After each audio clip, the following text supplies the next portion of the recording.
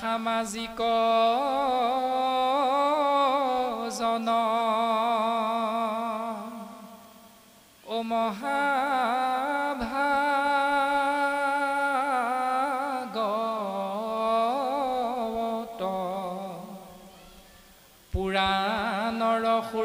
শাস্ত্ৰ শুনিও। মহত্ত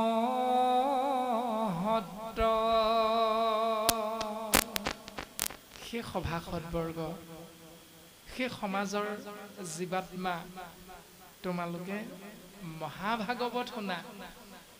মহাভাগৱতৰ কি শুনিবা? মহান তত্ত্ব শুনিবলৈ চেষ্টা কৰা। কিয়? কাৰণ শাস্ত্ৰৰ ভিতৰত ই হ'ল উত্তম শাস্ত্ৰ। পুৰাণৰ ভিতৰত ভাগৱত হ'ল সূৰ্য পুৰাণ মহন্ত পুৰাণ। কেনেকৈ শুনিম? আপোনাসৱে ইয়ালৈ আহিলে এতিয়া অহাৰ লগে লগে প্ৰত্যেকে আমি বিভিন্ন ভাৱনাযুক্ত হৈ আহিলোঁ আৰু ভাগৱতে কৈছে যে ভাগৱত শুনিম কিন্তু কেনেকৈ শুনিম এতিয়া? পদবন্ধে আমাক উত্তৰ দিছে। এৰা শুয়া এক শৰণ যিজনে শুনৈ আক পাঐ পৰম পদ সুখে নিস্তৰ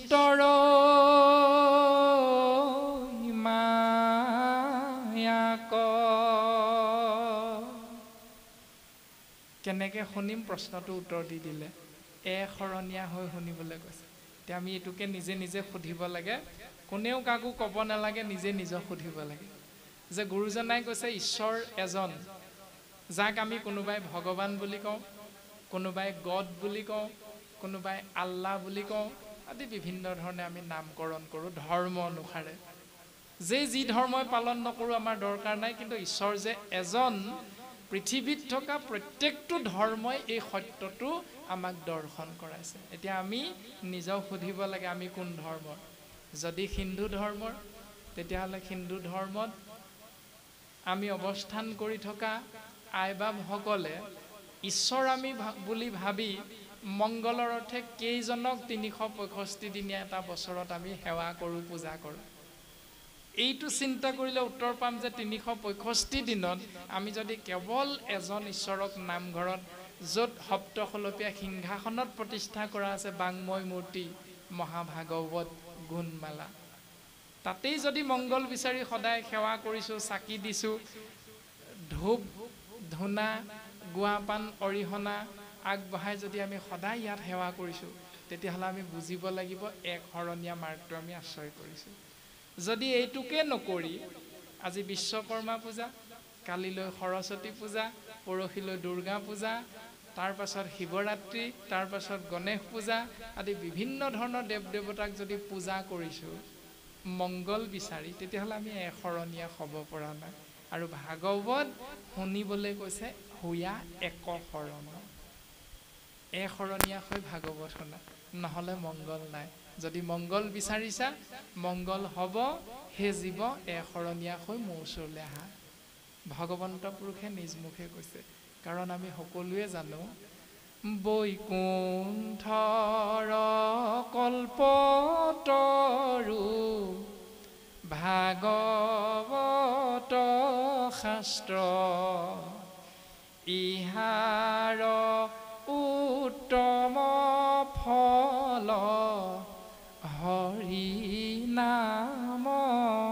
মাত্ৰ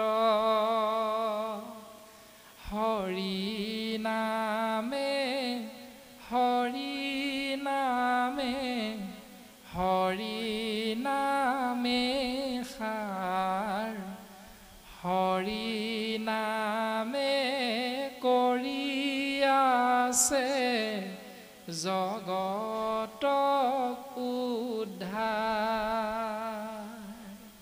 জগত মানে? বৰ্গীয় জ মানে জন্ম গ মানে গতি দন্তীয় ত মানে তৎক্ষণাত।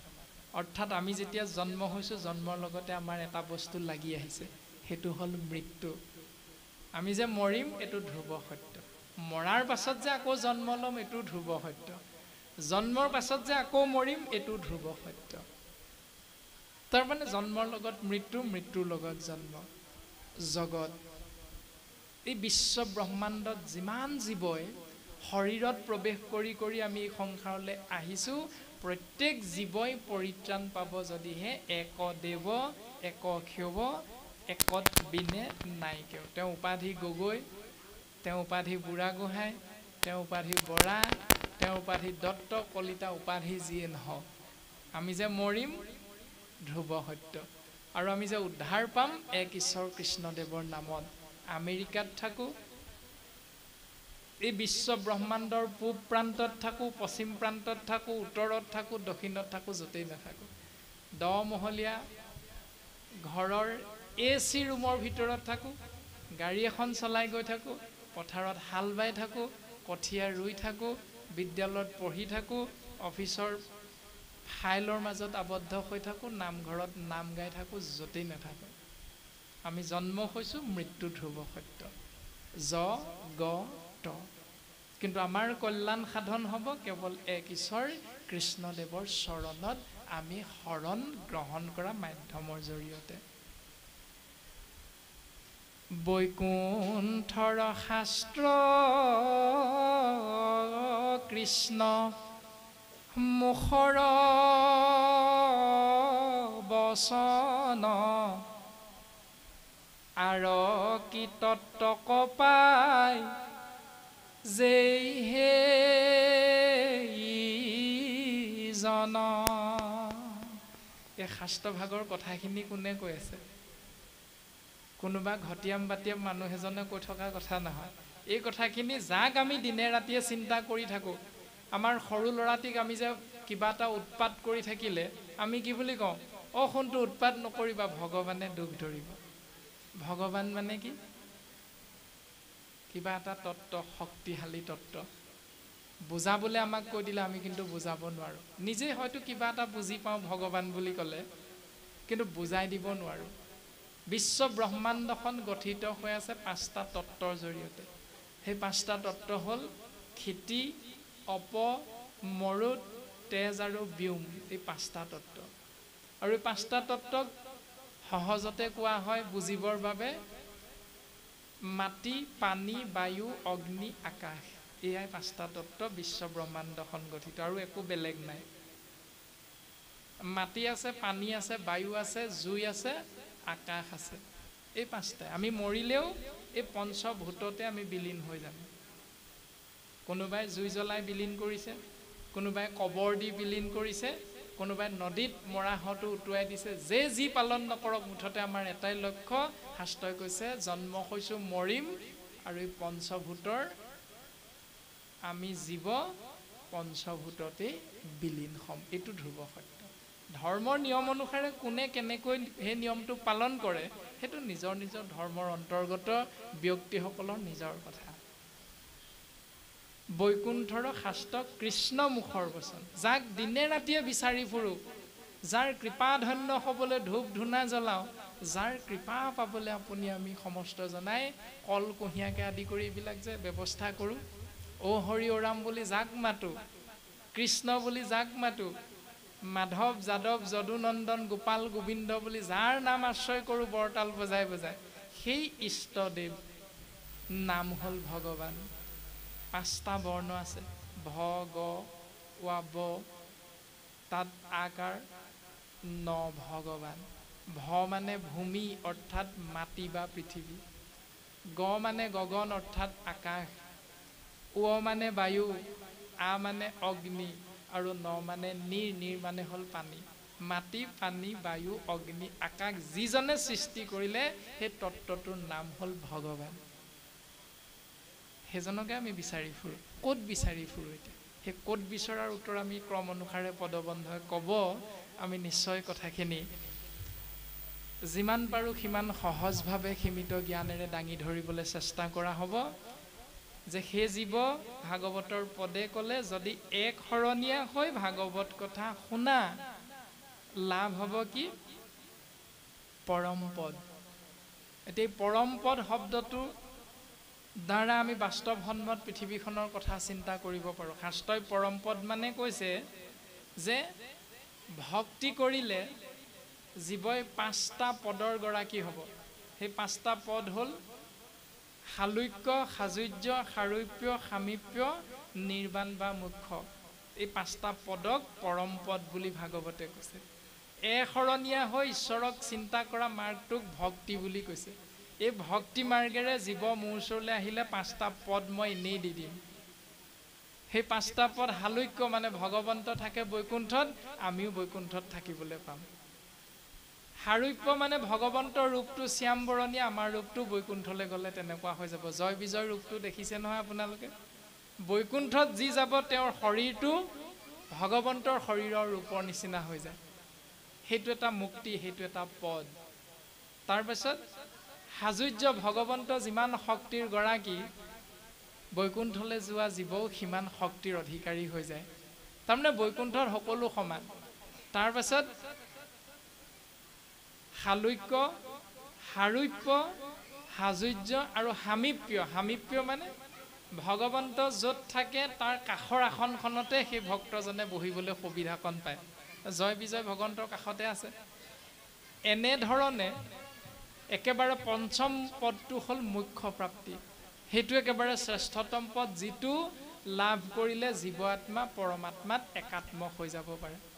আৰু পুনঃ পুনঃবাৰ এই সংসাৰত দুখ সুখ ভোগ কৰিবৰ বাবে যাতায়াত কৰি থাকিব নালাগে আৰু। আমি এবাৰেই আহিলোঁ ঈশ্বৰক চিন্তা কৰিলোঁ পুনশ্চ আমি ঈশ্বৰত বিলীন হৈ গুচি গ'লোঁ আৰু কোনো দৰকাৰ নাই আমি এই সংসাৰলৈ আহিবলৈ। সেইটো হ'ল মুখ্য আৰু উত্তম পদ বুলি কৈছে। এতিয়া এই পৰম পদবিলাক লাভ কৰিলে জীৱই সুখেৰে মায়াৰ পৰা হাত সাৰি থাকিব পাৰে। এতিয়া বাস্তৱসন্মত পৃথিৱীখনত যদি চিন্তা কৰোঁ বিদ্যালয়ত আমাৰ সন্তানবিলাকক পিতৃ মাতৃ হিচাপে আমি নামটো কেলৈ লগাই দিওঁ? কাৰণ আমি বিচাৰোঁ আমাৰ সন্তানে ডাঙৰ হৈ ডাক্তৰ ইঞ্জিনিয়াৰ হৈ ভাল মানুহ হওক সমাজৰ বাবে কিবা এটা ভাল কাম কৰক আৰু নিজৰ ভৰিত নিজে থিয় দি মূৰ দাঙি উঠক। আমাকো যাতে অশ্ৰদ্ধা নকৰি আমাকো আমাৰ সন্তানে আমাৰ বৃদ্ধ অৱস্থাৰ সময়ত ভাল ধৰণে প্ৰতিপালন কৰিব পাৰে। এইখিনিয়ে আমি পিতৃ মাতৃয়ে স্বাভাৱিকতে চিন্তা কৰোঁ। আৰু সেইটো চিন্তা কৰিয়ে বিদ্যালয়ত নামটো লগাই দিওঁগৈ। নহ'লে নাম নলগালোঁ সেইটো। আমুকৰ পুতেকে পঢ়িছে আমুকৰ জীয়েকে পঢ়িছে এতেকে বুলি নামটো আমি লগাই নিদিওঁ তই পঢ়গে যা বুলি। আমি পিতৃ মাতৃয়ে ভাবোঁ পঢ়িলে কি হ'ব? সেইখিনি আমি বুজি পাওঁ উপলব্ধি কৰোঁ সেইকাৰণে সন্তানক বিদ্যালয়লৈ পঠিয়াওঁ। আৰু বিদ্যালয়ত গৈ যেতিয়া পঢ়িব শিক্ষকে পঢ়ুৱাব পঢ়াৰ লগে লগে যিকেইজন ল'ৰাই ভালকৈ মনোযোগ দি পঢ়িব তেওঁলোকে ডাঙৰ হৈ যেতিয়া মেট্ৰিক পৰীক্ষা দিব অসমৰ বিছখন আসনৰ ভিতৰত এখন আসন পায় অতি কম সময়ৰ ভিতৰতে আই এছ অফিচাৰ হ'ব পাৰে ডাক্তৰ ইঞ্জিনিয়াৰ হ'ব পাৰে। কিন্তু যিকেইটা ল'ৰাই শ্ৰেণীকোঠাত শিক্ষকে বুজাওঁতে মনোযোগ নিদি বেলেগ এফালে ধান্দাটো কৰি থাকিলে সিহঁতি এটা শ্ৰেণীতে দুবাৰ তিনিবাৰ ফেইল কৰিব লগা হয়। আৰু সিহঁতি চাকৰিটো প্ৰথম প্ৰথম পায়নে নেপায় নাপায়। চাকৰি নোপোৱাৰ কাৰণে সিহঁতি জীৱনটো অতিবাহিত কৰিবলৈ যাওঁতে কি কৰিব লাগে? হাজিৰা কৰিব লাগে। আৰু হাজিৰা কৰি যিকেইটা টকা পায় সেই টকাকেইটাই ঘৰখন চলিব পাৰেনে? নোৱাৰে। তাৰমানে সেইটোৱে হ'ল দুখটো। সেই বিদ্যালয় শ্ৰেণীকোঠাত ভালকৈ নপঢ়াৰ কাৰণে যিধৰণে ডাক্তৰ ইঞ্জিনিয়াৰ হ'ব নোৱাৰিলে পদটো পাব নোৱাৰিলে ঠিক তেনেকৈ এশৰণীয়া হৈ ভাগৱত নুশুনিলেও পৰম পদৰ গৰাকী আমি হ'ব নোৱাৰোঁ। পৰম পদ নাপালে আমি সুখেৰে কেনেকৈ থাকিম এতিয়া? মিঠাতেলৰ দাম জানেই কিমান হ'ল এক লিটাৰ। পিঁয়াজৰ দাম আলুৰ দাম জানেই।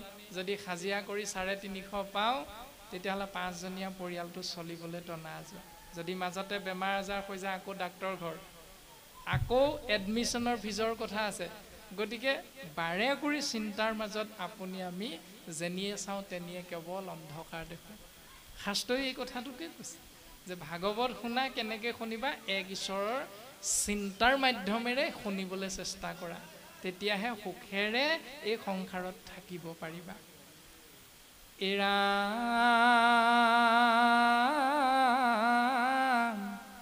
বৈকুণ্ঠৰ শাস্ত্ৰ আনি পৰম উৎসুকে। সংসাৰিক কৰি কৃপা প্ৰচাৰিলা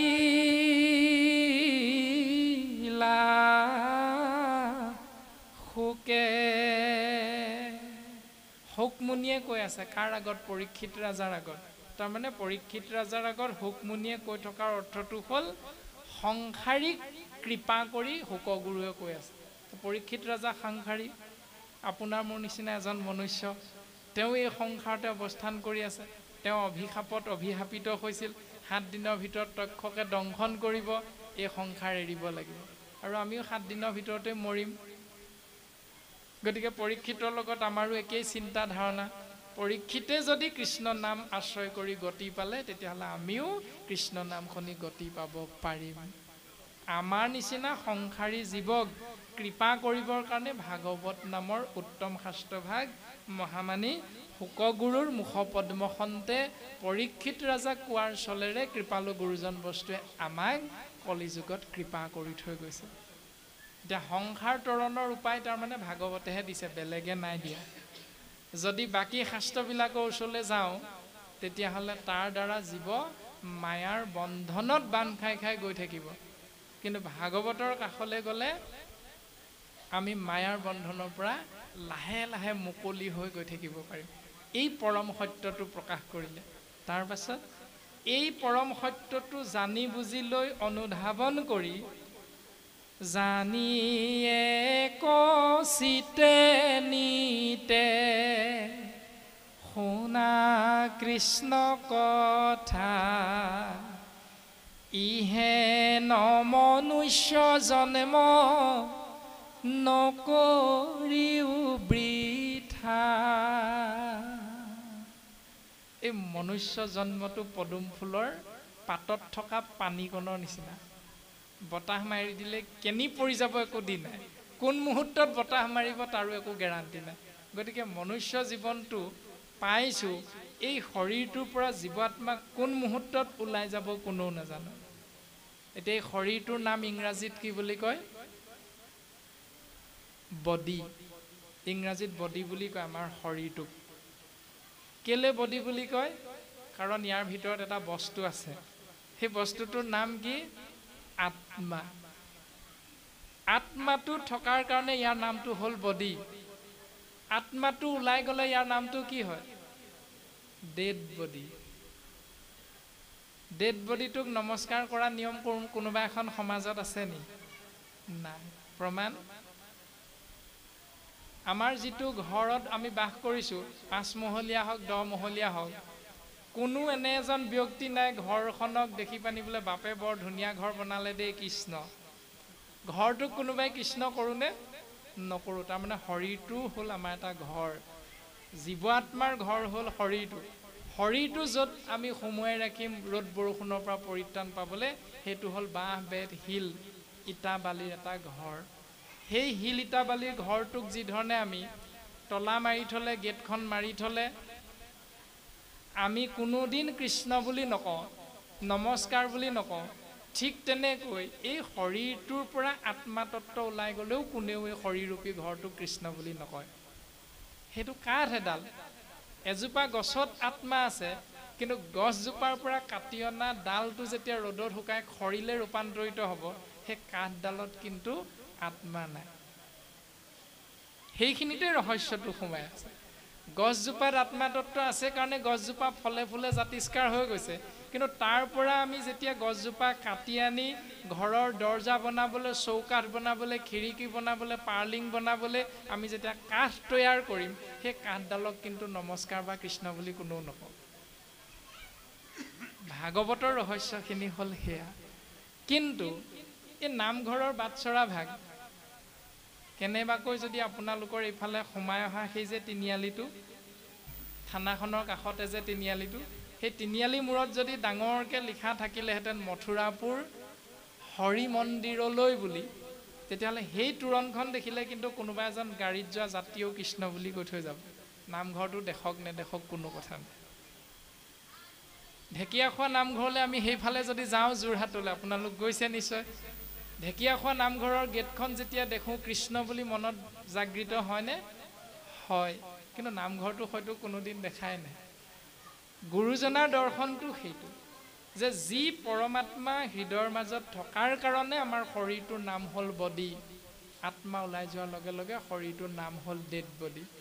আৰু বডি হৈ থকাৰ কাৰণে ইয়াত যিটো শক্তিয়ে বডি বুলি পৰিচয় কৰাই আছে সেই শক্তিটোৰ নাম হ'ল আত্মা।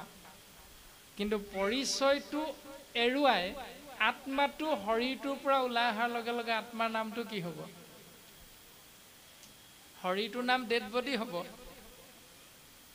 আত্মাটো শৰীৰটো এৰি দিয়াৰ লগে লগে আত্মাটোৰ নাম কি হ'ব? প্ৰেতাত্মা হৈ যাব তাৰ নামটো হ'ব প্ৰেত আত্মা আৰু গীতা শাস্ত্ৰত অৰ্জুনৰ আগত কৃষ্ণদেৱে কৈছে ভূত প্ৰেত গণ পূজে যিটো জনে ভূতক প্ৰেতক পাই মদ্য মাংস তেজ উচিষ্ট ক ভুঞ্জৈ ফুৰে পুৰা মাছ খাই যেতিয়া আমাৰ পিতৃ নামৰ জন্ম দিয়া শৰীৰটোৰ পৰা আত্মাটো ওলাই গ'ল তেতিয়া আমি প্ৰেতাত্মা বুলি নক'ম নেকি?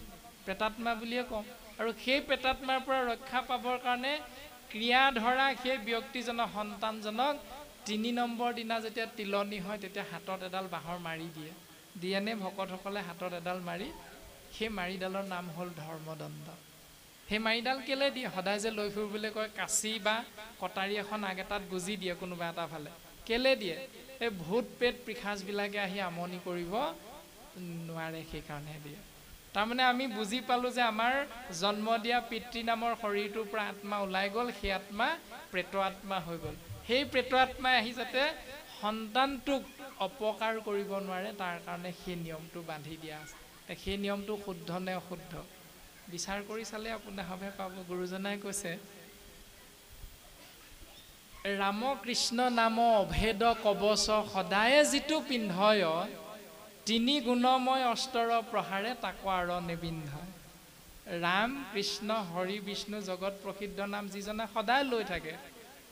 তেওঁ ভূত প্ৰেত পিশাচটো বাদেই দিয়ক। সতৰ ৰজ তম তিনি গুণেও এটাও পিন্ধিবহি নোৱাৰে। প্ৰমাণটো আপোনাৰভাৱে ভাওনা চাইছে নহয়? হিৰণ্যকশিপুৰে বৰ এটা লৈছিলে কাৰ পৰা? ব্ৰহ্মাৰ পৰা। বৰটো কেনেকুৱা জানে? দিনতো নমৰে ৰাতিও নমৰে। বাহিৰতো নমৰে ভিতৰতো নমৰে ওপৰতো নমৰে তলতো নমৰে অষ্টই নেকাটে ষষ্ঠই নেকাটে আনহে নেলাগে। সেই প্ৰজাপতি বিধিবৰ ব্ৰহ্মা তুমি যিবিলাক সৃষ্টি কৰিলা জীৱ এটা জীৱৰ হাততো মোৰ যাতে মৃত্যু নহয়।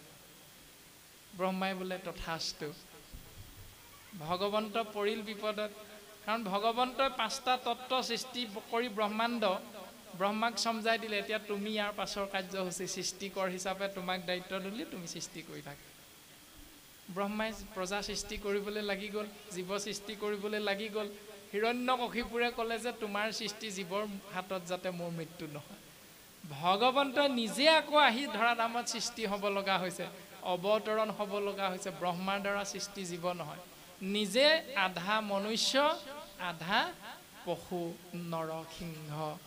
অৱতাৰ ধাৰণ কৰি সেই পানী নসৰকা অমৰত্ব বৰটোকো নৎসাত কৰি হিৰণ্যকশিপুৰক নিপাত কৰিলে।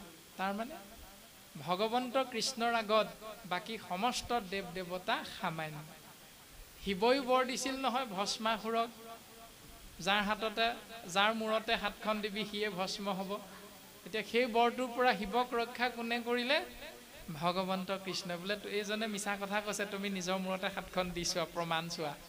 নিজৰ মূৰতে হাত দিলে নিজেই ভস্ম হয়। তেনে তেনেধৰণে ভগৱন্তই সমস্ত দেৱ দেৱতাক উদ্ধাৰ কৰে বিপদৰ পৰা।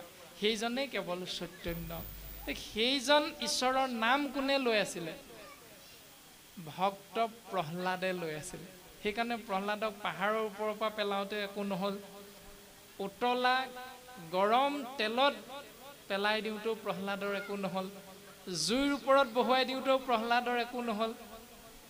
হাতীয়ে গছৰ কালতো একো নহ'ল। সৰ্পই দংশন কৰিলতো প্ৰহ্লাদৰ একো নহ'ল। তাৰমানে ভাওনা ভাগ চালে নহ'ব। ভাওনা ভাগ চাই তাৰ পৰা আমি কোনটো ল'ম কোনটো এৰিম সেইটো আমি ল'বলগীয়াটো ল'ব লাগে এৰিব লগাটো এৰিব লাগে। এইখিনি ভাগৱতে আমাক সিদ্ধান্ত দিছে। গতিকে প্ৰহ্লাদৰ দিশেৰে যদি আমি চাওঁ ৰাম কৃষ্ণ নাম অভেদ কবচ। প্ৰহ্লাদে সদায় কৃষ্ণ কৃষ্ণ হৰি হৰি বিষ্ণু বিষ্ণু ৰাম ৰাম। এই নাম ৰূপী অভেদ কবচটো সদায় পিন্ধি আছে কিন্তু হিৰণ্য কশিপুৰে ব্ৰহ্মাৰ পৰা বৰ লোৱা কবচটো পিন্ধিছিল। সেইকাৰণে সেইটো কবচ বিনাশী প্ৰহ্লাদৰ কবচটো শাস্ত্ৰই কৈছে অবিনাশী। ই কেতিয়াও বিনাশ নহয়। তাৰে প্ৰমাণ গ্ৰহ দুখ কালদুখ দৈৱ দুখ ইষ্ট দুখ জলে স্থলে জানে প্ৰবাসে যাতে ক'তো মৃত্যু নহয়। এই বুলি জ্যোতিষীৰ ওচৰলৈ যোৱাৰ লগে লগে জ্যোতিষীয়ে পাথৰৰ আঙুঠি এটা এটা আমাক পিন্ধিবলৈ কয়। কয়নে বাৰু? তাতে যদি আমি গড়ৰ সৰ্গ থকা আঙুঠি এটা যদি পিন্ধি থাকোঁ তেতিয়া সেই জ্যোতিষীজনে কয় যে এইটো গড়ৰ সৰ্গ আঙুঠি এইটো যদি পিন্ধা বোলে তুমি শনি গ্ৰহৰ পৰা পৰিত্ৰাণ পাবা। এনে এনে ধৰণে বিভিন্ন গ্ৰহৰ পৰা কালদোষৰ পৰা পৰিত্ৰাণ পোৱাৰ উপায়বোৰ আমাক দিয়ে। যদি আমি অকণমান চিন্তা কৰোঁ যে গড়ৰ যদি অকণমান খৰ্গ আঙুলিত পিন্ধিলেই আমি ৰক্ষা পাব পাৰোঁ গড়ৰ গোটেই খৰ্গটো নাকটোৰ আগত লৈ থকাৰ পাছতো কাজিৰঙাত কেলৈ বছৰে বছৰে গড়বোৰ মৰি আছে? সি নমৰিলেহেঁতেন নহয়। সেইবিলাক গড় যে মৰিছে মৰাৰ কাৰণটো হ'ল কেৱল খৰ্গদোষৰ। খৰ্গদোষৰহে আপোনাক মোক প্ৰয়োজন সেইকাৰণে চোৰাং চিকাৰীয়ে খৰ্গদোষৰৰ লোভত গড়বিলাক মাৰি আছে। তেতিয়াহ'লে সেই খৰ্গকে আনি আমি যদি আঙুঠিত পিন্ধি থাকোঁ হাতত আঙুলি এটা তেতিয়া আমি বাচিম নে মৰিম এতিয়া? সেইখিনিয়ে হ'ল আমাৰ কৰিব লগা চিন্তাখিনি। এতিয়া শাস্ত্ৰই আমাক সুন্দৰকৈ দৰ্শন দি আছে কথাখিনি। গতিকে ইহেন মনুষ্য জন্ম নকৰিও বৃথা। এই মনুষ্য জন্মটো সেই আঙুঠি পিন্ধি ৰছী পিন্ধি বিভিন্ন ক্ষুদ্ৰ দেৱতাৰ ওচৰলৈ গৈ সময়বিলাক অপচয় নকৰি সেই জীৱ একচিতে কেৱল নিতে নিতে কৃষ্ণ কথা শুনি জীৱন ধন্য কৰিবলৈ প্ৰয়াস কৰা চেষ্টা কৰা।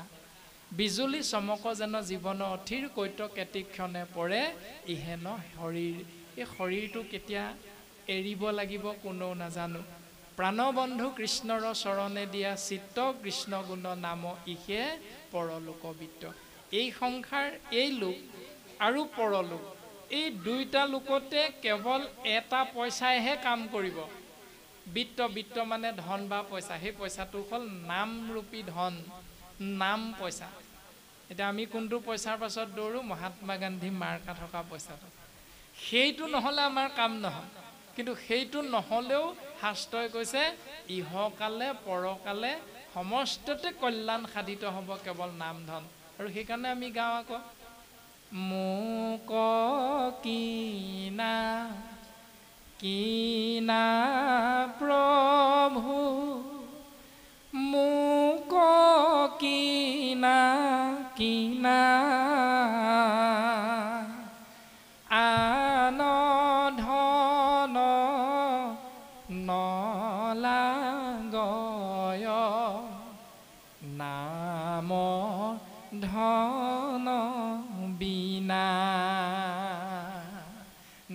ধনৰ বাহিৰে মোক বেলেগ ধন নালাগে। এতিয়া আমি কোনটো ধনৰ পাছত দৌৰি ফুৰোঁ? মহাত্মা গান্ধী মাৰ্কা থকা তাৰপাছত নামলৈ গৈ কোনটো ধন? কল কুঁহিয়া প্ৰসাদৰ ভাগটোৰ পাছত দৌৰি ফুৰোঁ। এতিয়া আমি নামলৈ কেলৈ যাব লাগে? কাৰ আশাত যাওঁ? শাস্ত্ৰই কেনেকৈ যাবলৈ কৈছে? প্ৰত্যেকটো কথা আমি চিন্তা কৰিব লাগিব। কিয়? কাৰণ আউৰ কি মনুষ্য শুই বা এৰা ইটো আশ? আকৌ যে মনুষ্য জন্ম পাম এইটো কিন্তু গেৰাণ্টি নাই। গতিকে এইটো আশা ত্যাগ কৰি জানি হৰি ভকতিত তেজিৱালা স এই পৰম সত্য অনুধাৱন কৰি হৰি ভক্তিত এলাহ ভাগৰ এৰা। এতিয়া আমাৰ আইসকল নামঘৰলৈ কেতিয়া যায়? আইসকল মিতাহাৰ কৰ্মৰ একাদশ দিৱসৰ দিনা বা দহা দিনা কোন সময়ত যায় বাৰু? ৰাতিপুৱা সোনকালে যায় কেলে? মাহ ধুবগৈ লাগে। সেইকাৰণে মাহ ধুবলৈ আইসকল প্ৰায় সোনকালে যায়। আৰু মাহ প্ৰসাদ ধোৱাৰ পাছত যেতিয়া ভকতৰ অগ্ৰত আগবঢ়াই দিয়া হয় তাৰ পাছতে ভকতে নাম ল'বলৈ বহে তেনে সময়তে আইসকল ঘৰলৈ গুচি আহে। আহে নাই আপোনালোক ঘৰলৈ? গুচি আহে। কেলৈ আহে? ৰাতিপুৱা আঠটা বজাতে যায় যে ভকতে নাম ল'বলৈ লওঁতে বাৰটামান বাজে। তেতিয়ালৈকে একো নোখোৱাকৈ যায় যে সেইকাৰণে ঘৰত কিবা এমুঠি খাবলৈ গুচি আহে। আৰু ভকতে যেতিয়া নাম লয় শেষ হয় তাৰপাছতে জলপানটো খাবৰ হয়। আইসকল গৈ সেই সময়তে পায়গৈ। এইটো সমাজত দেখি থকা এখন ছবি। কিন্তু শ্ৰীমন্ত শংকৰদেৱ সংঘ সমাজৰ নীতিটো অলপ বেলেগ। আইসকল সোনকালে গ'লেও ভকতৰ সমানে সমানে একেলগে নাম বস্তু আশ্ৰয় কৰে। কিন্তু বাকী সমাজৰ নীতি নিয়মখিনি অকণমান বেলেগ। আমি যেনেধৰণে কোৱা হৈছে তেনেধৰণৰ ছবিখন দেখা যায়। মানে যিটো পৰম বস্তুৰ নাম সেইটোকে আশ্ৰয় নকৰি খোৱাটোত গুৰুত্ব দি ভোক লাগিলে ঘৰলৈ গুচি আহিলোঁ। আৰু শ্ৰীমন্ত শংকৰদেৱ সংঘত আইসকলে ভকতৰ সমানে সমানে বহি সেই নাম বস্তু আশ্ৰয় কৰে খোৱা বোৱা পাছৰ কথা।